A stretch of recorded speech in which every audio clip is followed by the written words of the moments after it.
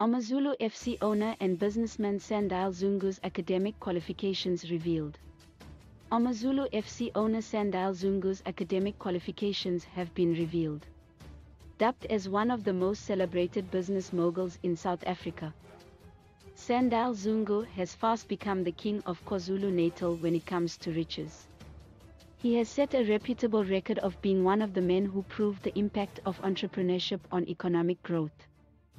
He is also a voice for black businesses and is a member of the BBBEE Presidential Advisory Council. Sandile is known to inspire transformation and is a champion for business empowerment. Besides his business-oriented life, Sandile Zungu is an academic genius with a cabinet of qualifications to show for it. Sandile Zungu was born and bred in Umlazi in the southern part of Durban. He grew up in a comfortable home, and his parents ensured their son had the best education. Sandile studied his matric at Vukuzakhe High School. Sandile is an alumnus of the University of Cape Town. He pursued a bachelor's degree in mechanical engineering from UCT between 1985 to 1988. After graduating, he worked for several companies, including Engen Refinery and South African breweries before opting to further his studies.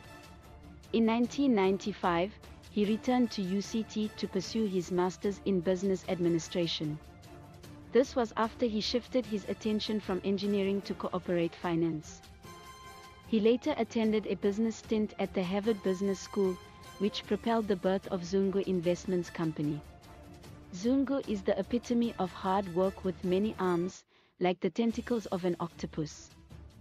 He owns several businesses in Mzansi. He is the chairman of Zungu Investment Company which he founded in 2002. He is also the owner of the magnificent Zangunis Wedding and Conference Center. Sandile is a man who wears many hats and stops at nothing to secure the bag. He was on top trends in 2020 after buying Amazulu, a PSL football club, from Dr. Patrick Sokhela. Apart from the listed businesses. Sandile has a hand in companies that deal with minerals and energy. Seriti Resources Holdings Proprietary Limited. Gold One International Limited. Koza Mining. Rockwell Diamonds Inc. Spring Light Gas Proprietary Limited. Sinter South Africa Proprietary Limited. Leave your comments in the comment video below, don't forget to share with your family and friends.